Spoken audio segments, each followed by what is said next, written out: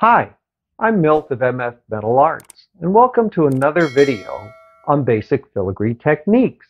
In this video, I will be demonstrating the making of various filigree shapes, and you'll be using the wire that I demonstrated in the making of uh, filigree wire video.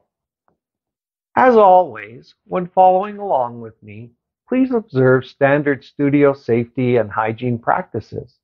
Please do not attempt any of the steps that I'm demonstrating if you are unfamiliar with the safe use of the tools that I'm using. Tools that we will be using in this segment are tweezers. Uh, these are my go-tos. Now, we're going to need flush cutters. These flush cutters are very light, easy to use, easy to squeeze, comfortable, and these are good for cutting up to 20 gauge. And so I use these again primarily for cutting my filigree wire, and they'll pretty much last forever if you don't abuse them. And then the last thing we'll be using is a standard bench block. I typically use a 4x4 steel bench block as a surface on which to form my filigree. In making the filigree elements, we're going to be focusing on using the filigree wire that we made in the earlier segment on how to make filigree wire, get our flush cutter, grab the wire, cut a little bit off of it, make it nice and square, clip a little piece off. We'll do that almost every time before we start forming our filigree wire. So I grab my wire, have just that little bit sticking out there, just a little tiny piece, and I turn it. Make a little loop. Close it. That's not a bad loop. So once we have our loop, we're then going to shape this, but only just a little bit. Just clip it off here. And so this is what I call a bass clef. So, so far, we have an ampersand, a basic bass clef, and a bass clef with a little more curl in it. These three shapes that you're sitting here are major, major building blocks.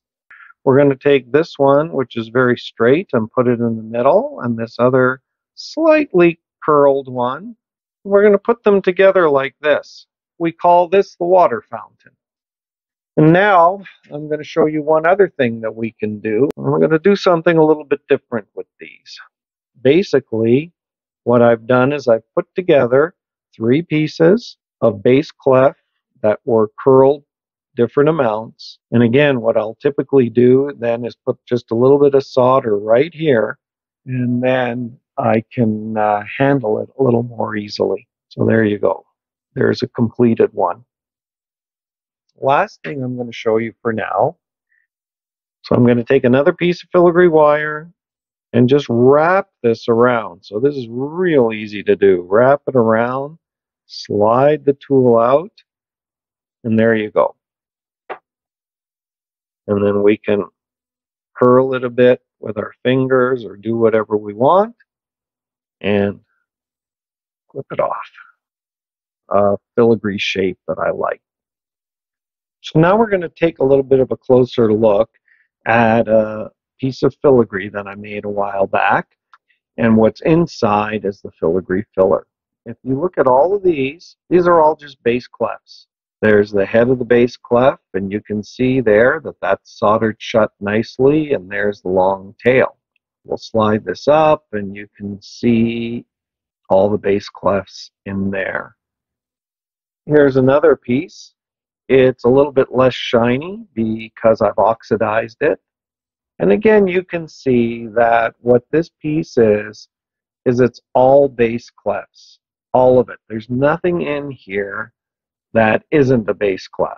Everything is made out of bass clefs. So once again, that very, very, very simple shape is used to make a much more complex looking piece. This one's one of my favorites. It's called Surfing Moon. This one's not made of bass clefs, it's made of small ampersands. Another example, uh, also made with, of course, ampersands. And this is my Tree of Life filigree. And again, all ampersands all the way around, yet creating this image of a tree. And finally, the last one I'll show you is a piece that's actually in progress. It's going to be part of a hinged cuff. I just never got around to finishing it.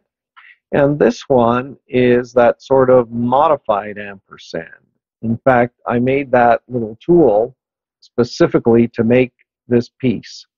From some very, very basic shapes, we can make many, many, many different styles of filigree. I encourage you to practice making these shapes, and also I think it would be a good idea for you to look at the work of others and see what types of shapes they use in their filigree.